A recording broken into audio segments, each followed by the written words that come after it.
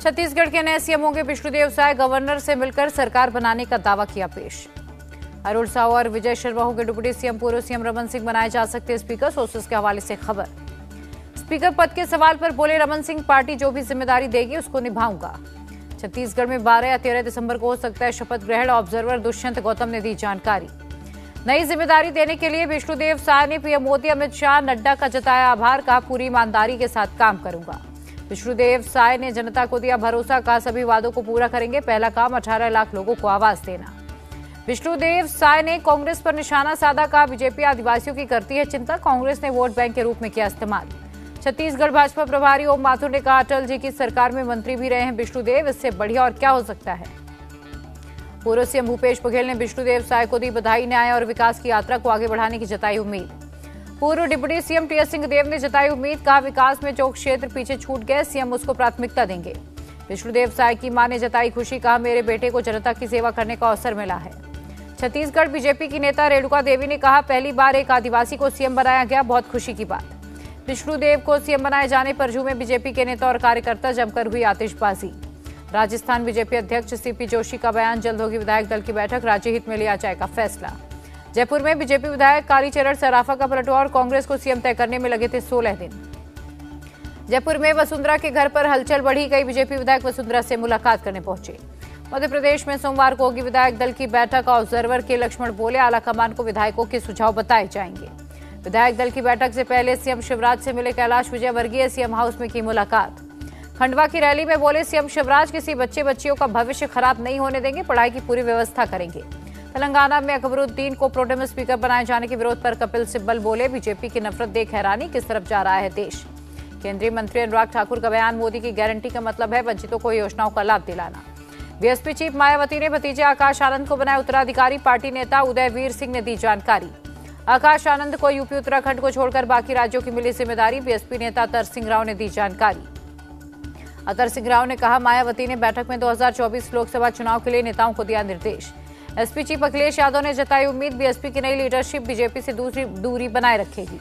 अखिलेश यादव का बड़ा दावा, अगले लोकसभा चुनाव में यूपी की सभी सीटें समाजवादी पार्टी जीतेगी। दिल्ली में 19 दिसंबर को इंडिया अलायंस की होगी बैठक, सीट शेयरिंग रैली और कॉमन एजेंडे पर होगी बात। शिवसेना सांसद संजय राउत के काफिले पर अज्ञात शख्स ने फेंकी चप्पलों से भरी थैली, महाराष्ट्र के सोलापुर की घटना।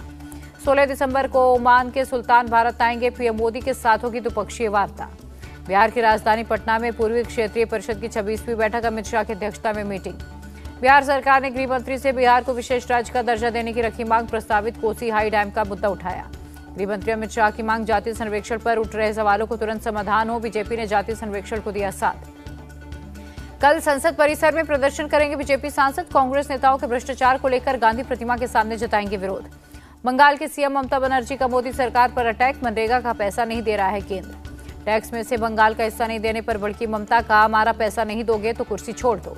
बीजेपी के राष्ट्रीय उपाध्यक्ष दिलीप घोष ने सीएम ममता को दिया सुझाव, योजनाओं का पूरा हिसाब लेकर पीएम और गृह मंत्री से मिले, फिर अपना हिस्सा मांगे। कांग्रेस सांसद धीरज साहू के दस ठिकानों पर आईटी रेड पाँचवें दिन जारी, धीरज के मैनेजर के घर से मिले कैश से भरे बीस बैग। एक सौ छिहत्तर बैग में से 140 बैग के पैसे की हो चुकी है गिनती, बाकी बैग के पैसों की रखी जा रही गिनती, ओडिशा एसबीआई के रीजनल मैनेजर का बयान। बालागीर में धीरज साहू की बौद्ध डिजिटलिस्टरीज प्राइवेट लिमिटेड पर रेड नोट गिरने के लिए लाई गई मशीनें। गृह मंत्री अमित शाह का निशाना, धीरज साहू के यहाँ करोड़ों रुपए बरामद हुए, इंडिया अलायंस खामोश है। अमित शाह ने कहा समझ आया, पूरा विपक्ष जाँच एजेंसियों को क्यों बदनाम कर रहा, उन्हें डर है, भ्रष्टाचार उजागर ना हो।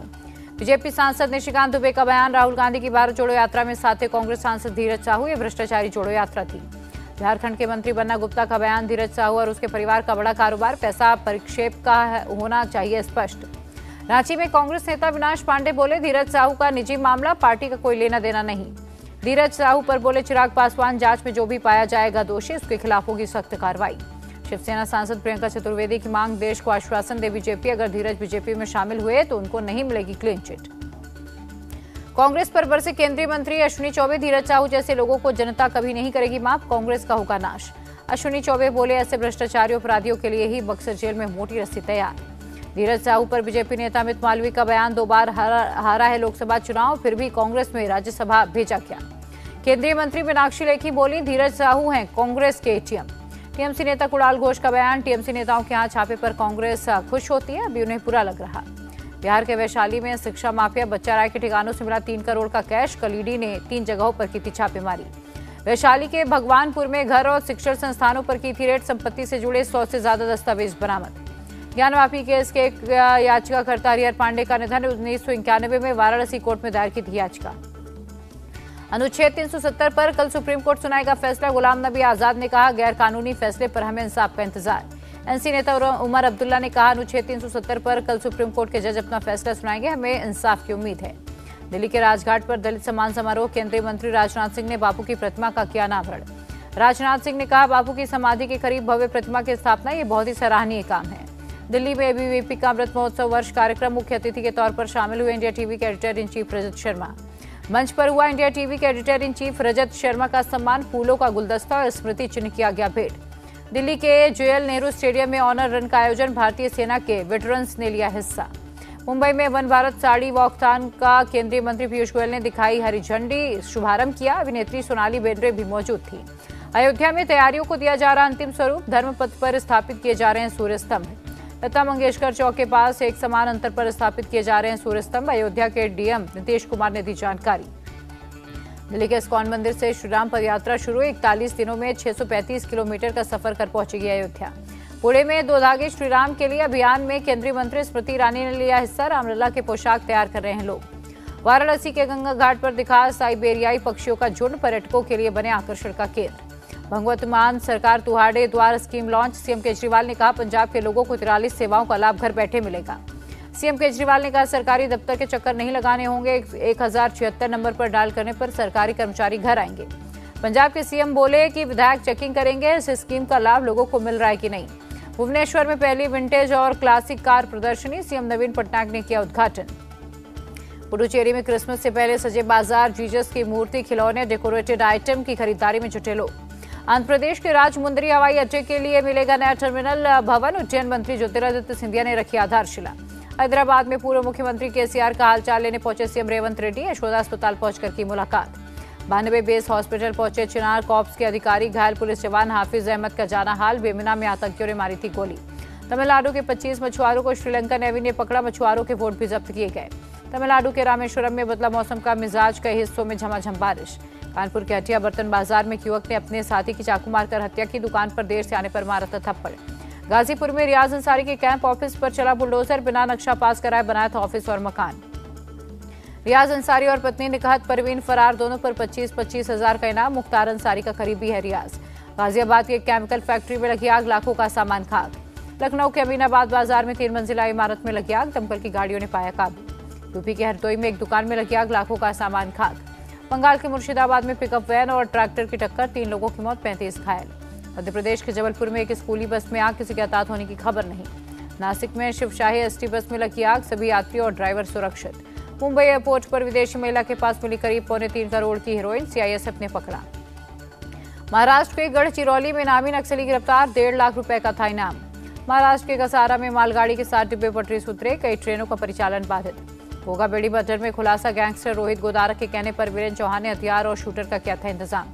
हरियाणा के रेवाड़ी रेलवे स्टेशन से सीसीटीवी में दिखे थे शूटर नितिन रोहित सुबह सवा चार के बाद हिसार के लिए पकड़ी थी train. Rajasthan BJP chief CP Joshi बोले, गोगाबेड़ी की हत्या ने सबको हैरान किया, अब राजस्थान में अपराध के लिए जगह नहीं है। कर्नाटक के कोडगू के एक प्राइवेट रिजॉर्ट में सुसाइड दंपति और तीन साल के बच्चे का शव बरामद। लाहौर हाईकोर्ट में इमरान खान की याचिका पाकिस्तान चुनाव आयोग के अवमानना केस को दी गई चुनौती। कहा यह मौलिक अधिकारों का हनन है। हमास की कैद में 25 साल के इजरायली युवक सहर बारूज की मौत, मृतक के छोटे भाई ईदान को भी हमास ने सात अक्टूबर को मार डाला था। गाजा में हमास आतंकियों ने नागरिकों को पीटा इंटरनेशनल संगठन से आई राहत सामग्रियों को लूटा आईडीएफ ने शेयर किया वीडियो। तेल अवीब में इकट्ठा हुए हज़ारों इसराइली लोग गाजा पट्टी में हमास की कैद में बंद लोगों की रिहाई की मांग। गाजा में हमास की कैद से लौटे बच्चों में अभी भी दिख रहा डर, खाना भी नहीं खा पा रहे। इसराइल की कैद से आज़ाद हुए फिलिस्तीनियों का बयान, सैनिकों ने पूछताछ के दौरान पीटा, जानवरों की तरह हमसे बर्ताव किया। इसराइल हमास जंग पर बोले तुर्की के राष्ट्रपति और ने इसराइल ने लोगों पर किया अत्याचार, नरसंहार से पूरी मानवता को किया शर्मशार।